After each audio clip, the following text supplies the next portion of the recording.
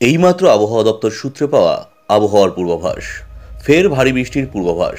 তবে কেমন থাকবে সোমবার থেকে আবহাওয়া? এই বিষয়ে কি জানিয়েছে আবহাওয়া দপ্তর, জানিয়ে দেবো সম্পূর্ণ বিস্তারিত ভিডিওতে। বিস্তারিত জানতে অবশ্যই ভিডিওটি শেষ পর্যন্ত দেখবেন এবং আপনি আপনার জেলার নাম ভিডিওর কমেন্ট বক্সে কমেন্ট করে জানিয়ে দেবেন।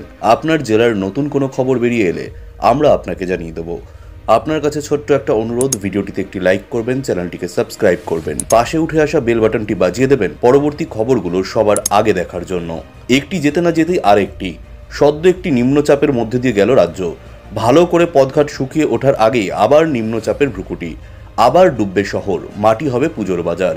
আকাশের মেঘলা মুখ দেখে মন খারাপ হবে পুজো উদ্যোক্তা সহ বাজারের ক্রেতা বিক্রেতাদের। একটি ঘূর্ণাবর্ত তৈরি হয়েছে বঙ্গোপসাগরে। পূর্ব ও মধ্য বঙ্গোপসাগর সংলগ্ন উত্তর পূর্ব বঙ্গোপসাগরের কাছাকাছি তৈরি হয়ে উঠেছে এই নিম্নচাপটি, যেটি কুড়ি সেপ্টেম্বর নাগাদ কিছুটা পশ্চিম দিকে আসবে। পশ্চিম মধ্য বঙ্গোপসাগরের কাছাকাছি এসে এটি এক ভারী নিম্নচাপে পরিণত হওয়ার আশঙ্কা থাকছে। এই নিম্নচাপের প্রভাব মূলত উড়িষ্যার দিকেই থাকবে। কিছুটা প্রভাব থাকবে দক্ষিণবঙ্গেও। দক্ষিণবঙ্গের জেলাগুলিতে আগামী চব্বিশ ঘণ্টা প্রধানত বিক্ষিপ্তভাবে হালকা থেকে মাঝারি ধরনের বৃষ্টির সম্ভাবনা রয়েছে।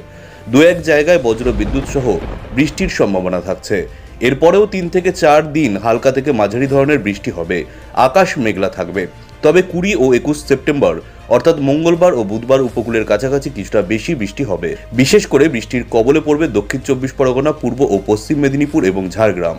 একুশ সেপ্টেম্বর বুধবার বৃষ্টি হতে পারে দক্ষিণ চব্বিশ পরগনার সমুদ্র উপকূলের কাছাকাছি অঞ্চলগুলিতে। পূর্ব ও পশ্চিম মেদিনীপুরের দু এক জায়গায় ভারী বৃষ্টির আশঙ্কাও থাকছে। কলকাতা ও পার্শ্ববর্তী অঞ্চলে আগামী চব্বিশ ঘণ্টা বিক্ষিপ্তভাবে হালকা মাঝারি ধরনের বৃষ্টির আশঙ্কা রয়েছে। পরবর্তী কয়েকদিন ধরে একই রকম থাকবে আবহাওয়া। খুব একটা পরিবর্তন ঘটবে না বলেই জানাচ্ছেন আবহাওয়া দপ্তরের আধিকারিকরা। প্রধানত মেঘলা আকাশ দেখা যাবে এবং হালকা থেকে মাঝারি ধরনের বৃষ্টি হবে। দিনের তাপমাত্রা খুব বেশি বাড়বে না। উত্তরবঙ্গের ক্ষেত্রে আগামী তিন থেকে চার দিন বিক্ষিপ্তভাবে হালকা বৃষ্টি হবে। বাইশ তারিখ থেকে উত্তরবঙ্গে আবার কিছুটা বাড়বে বৃষ্টি।